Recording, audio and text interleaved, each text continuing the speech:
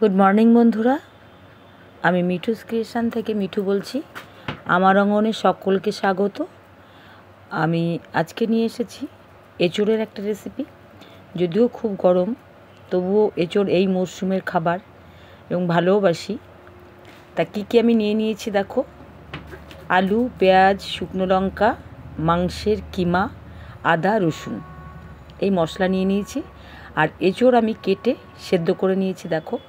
ছোট ছোট করে কেটেছি, যদিও খুব কচি এঁচোড়, তবুও আজকে আমি এই এঁচোড় বেছে নেব। কীভাবে বেছে নেব সেটা আমি শেয়ার করব। আগে মশলাটা করে নেই। মশলাটার মধ্যে আমি মিক্সিতে দিয়ে দিচ্ছি আদা এবং রসুন। দিয়ে দিচ্ছি গোটা কয়েক শুকনো লঙ্কা। এই আট দশটা মতন দিয়েছি। এটা আমার বাড়ির শুকনো লঙ্কা। বাড়িতে আমি এগুলো শুকিয়ে রেডি করেছি। দিয়ে দিচ্ছি একটু জল।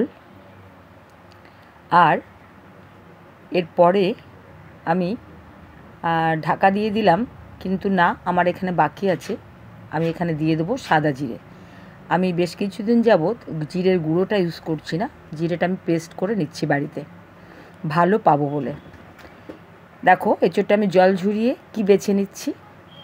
আমি এঁচোড়ের যে দানা হয়, সে দানার পেছনে যে একটা শক্ত অংশ থাকে, পাকা কাঁঠালের যে অংশটা আমরা ফেলে দিয়ে কোয়াটার, কোয়াটা বের করে নিয়ে বীজ মানে কোয়াটার মধ্যে একটা শক্ত অংশ থাকে, যেটা খেলে পেট ব্যথা করে আমরা বলি, সেটা ফেলে দিচ্ছি, দেখো। এঁচোড়ের ক্ষেত্রেও সেটা থাকে, কারণ ছোটোবেলা থেকেই তো ওটা থাকবে। তাই প্রত্যেকটা কোয়া থেকে সেই অংশগুলো আর কাঁঠালের যে আমরা যেগুলোকে বলি ছোবার মধ্যে থাকে ভুচড়ো বলি আমাদের আমাদের দেশে আমরা ভুচড়ো বলি, সেইগুলো আমি বেছে নেব। আমি শুধু নেব কাটার কাটার পেছনের অংশটা আর নেব দানাটা। আর দানা দানাটার পাশে পাকলে যে শ্বাসটা খাই সেই কোয়াটা।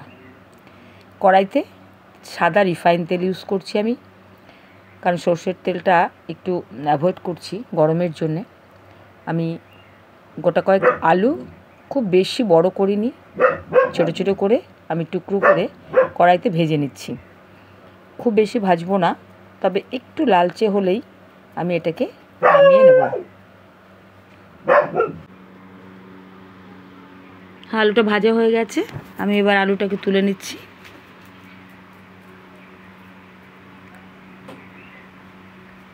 এইবার কড়াইতে আরেকটু তেল দেব।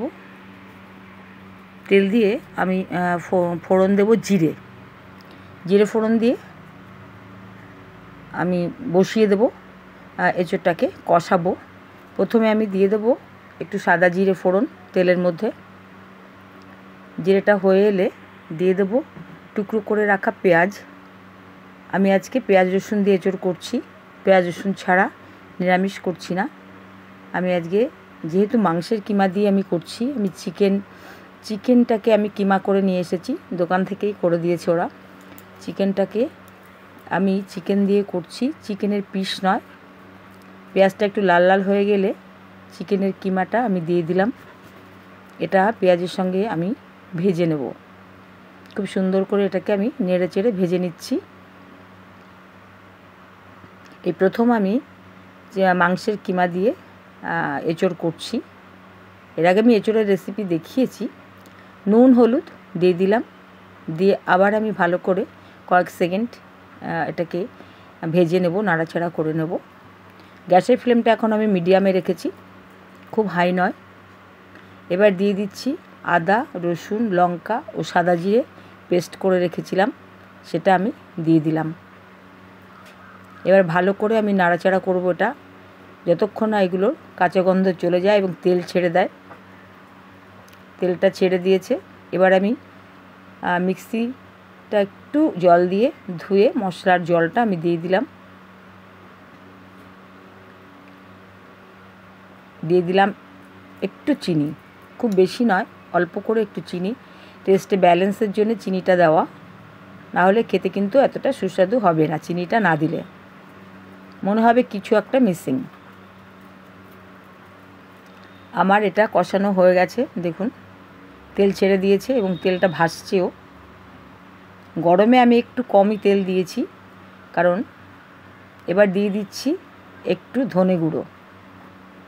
খুব একটা আমি ধনে গুঁড়ো ব্যবহার করি না রান্না বান্নায় কিন্তু আমি এই এঁচড়ের ক্ষেত্রে আজকে যেহেতু আমি মাংসের কিমা দিয়ে করছি, তাই আমি ধনে জিরে সবই আজকে ইউজ করছি। আমি দিয়ে দিলাম ভাজা আলুটা, যেটা আমি ভেজে রেখেছিলাম। আর দিয়ে দিলাম সেদ্ধ করে, পরিষ্কার করে বেছে নিয়েছি সেই এঁচড়। একটাও বাজে অংশ, বীজের যে ঢাকনাটা থাকে, বীজের মধ্যে যে একটা খোলা থাকে, আমরা যেটাকে ফেলে দিয়ে পাকা কাঁঠালটা খাই, সেইটাকে আমি রান্নার সময় প্রত্যেকটা বীজ থেকে সেই অংশটা আমি বেছে বাদ দিয়ে দিয়েছি। এঁচড়ে তেল মশলা দিলে খুবই সুস্বাদু হয় খেতে, কিন্তু গরমে প্রচণ্ড ভয় করে। মানে অনেক বেশি তেল দিয়ে অনুষ্ঠান বাড়ির মতো রান্না করতে এই গরমে সত্যি ভয় হয়। দিয়ে দিচ্ছি একটু কাশ্মীরি লঙ্কার গুঁড়ো আর দিয়ে দেব আমি এখানে গরম মশলা। গরম মশলাটা আমি সাধারণত বেশিরভাগ ক্ষেত্রেই কষানোর সময়তেই দিয়ে দেই।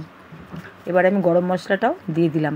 শাহি গরম মশলা আমি এটার ক্ষেত্রে আজকে ইউজ করেছি। ওয়ান প্যাকেট ওয়ান প্যাকেট আমি দিয়ে দিলাম। দুটোই আমি ওয়ান প্যাকেট করে এখানে ব্যবহার করেছি। যেহেতু এঁচড়টা আমার অনেকটাই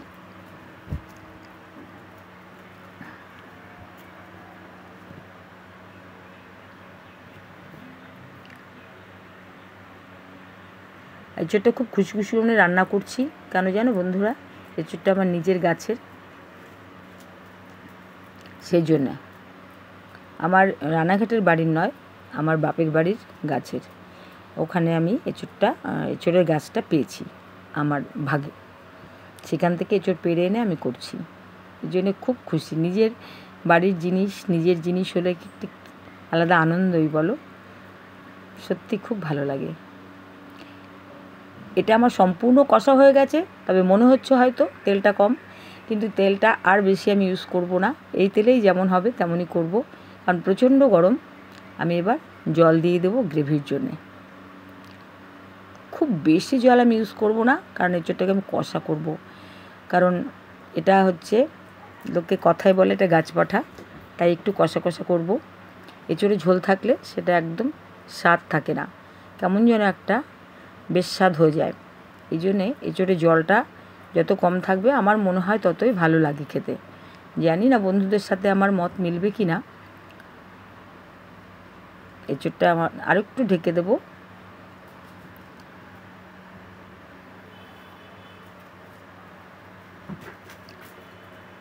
আমরা অনেক, প্রত্যেকেই এঁচড় সাধারণত খেয়েছি এবং নানান রকমভাবে আমরা রান্না করছি। এখন তো ইউটিউবে ভ্যারাইটি এঁচড়ের রেসিপি আমি দেখছি বন্ধুদের। ভালো লাগছে বেশ যে কত রকমভাবে একটা সবজিকে আমরা খাওয়া যায় বা খাচ্ছি। সত্যি আমি কোনো দিন এর আগে আমরা ভাবিনি যে আমরা মাংস দিয়ে এঁচড় হ্যাঁ এটা কিন্তু আমি সাধারণত ছোটোবেলা থেকে আমি দেখিনি যে মাংস দিয়ে এঁচড় করছে বাড়িতে। আমরা কিন্তু অনেক লোকজন বাড়িতে কিন্তু মাংস দিয়ে এঁচড় কখনো আমি খাইনি। এই ইউটিউবে এসেই প্রথম আমি মাংস দিয়ে করলাম। যাই হোক, হয়ে গেছে আমার এঁচড় দেখো, আমি গ্রেভি খুব কম রেখেছি। আমি শুকনো কষা বলেছিলাম রাখব। আমি রেখেছি কমপ্লিট। ভালো লাগলে সাবস্ক্রাইব করে সঙ্গে থেকো, লাইক, কমেন্ট করো আর বেল আইকনটা প্রেস করো নতুন বন্ধুরা। আবার দেখা হবে। নতুন নতুন ভিডিও নিয়ে আবার চলে আসব, ঠিক আছে? তবে বন্ধুরা ভিউজ করছ, কিন্তু কমেন্ট করছ না। প্লিজ প্লিজ প্লিজ কমেন্ট করবে। নমস্কার, ভালো থেকো।